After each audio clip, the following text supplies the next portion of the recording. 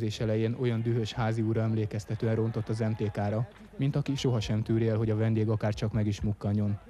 A hetedik percben Turbék ívelte a 16-oson belülre a labdát, Hámori pedig visszahúzta Galaseket, 11-es.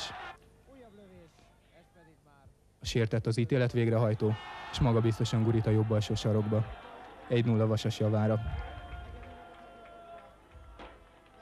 Hámori, aki Jován és Morozov mögött most visszavonva lényegében jobboldali középpályást játszott, 7 perc múlva majdnem korrigálta hibáját, de lövését Babocsi hárította.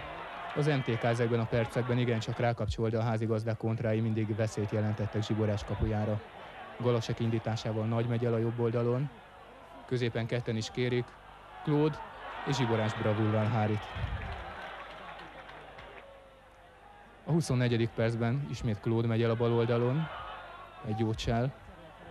Klin kapja a 16-oson belül a labdát.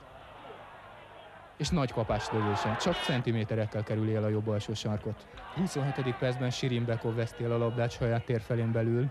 Balog, Sirimbekov nem tudja utolérni, középre passzírozza, és Jován, egy-egy. Azt hiszem ebben a gólban az egész vasas vélelem benne volt. Közel fél óra elteltével zsiborás borzolta a kék-fehér szurkolók idegeit, de Szilveszter nem ért az ajándékba kapott lehetőséggel, ez a helyzet is kimaradt. A 37. percben Galasek indítja a kecskést, beadását Claude átlépi, de Szilveszter ezt a helyzetet is elügyetlenskedik. A 44. percben ugyanazok a szereplők, mint az első gólnál, bent egy vasas játékos, aki nem éri el a labdát, Hámori, aki miatt nem éri el, és Futák játékvezető, aki 11-est ítél, és Hámorit, mivel gólhelyzetben lévő játékossal szemben szabálytalankodott kiállítja.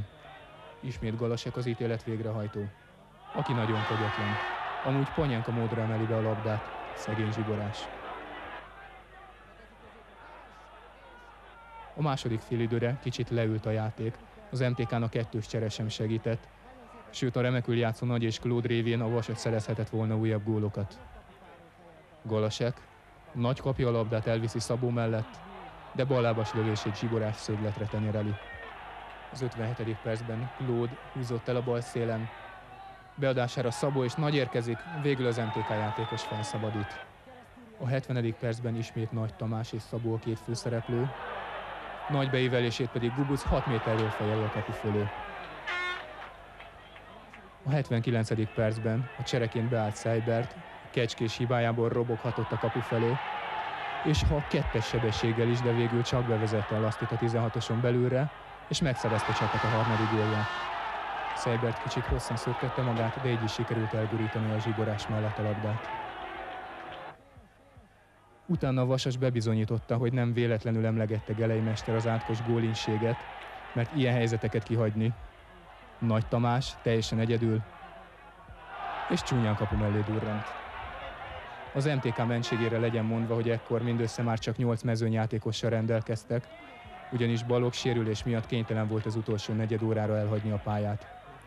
Ismét Nagy Tamás, a Klódhoz játszik, és az ördöngős afrikai varázsló előbb híres mellett viszi el a labdát, majd talapát is beülteti a hintába, de végül be tudnak csúszni az MTK-sok.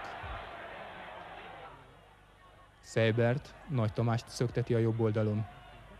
Ismét Szabó az ellenfél, ismét áthámozza magát. Előbb Claude, majd Gubuc csúszik el, és itt történik egy szabálytalanság, ami miatt a játékvezető érvényteleníti Seibert gólját. A végeredmény Vasas MTK 3-1.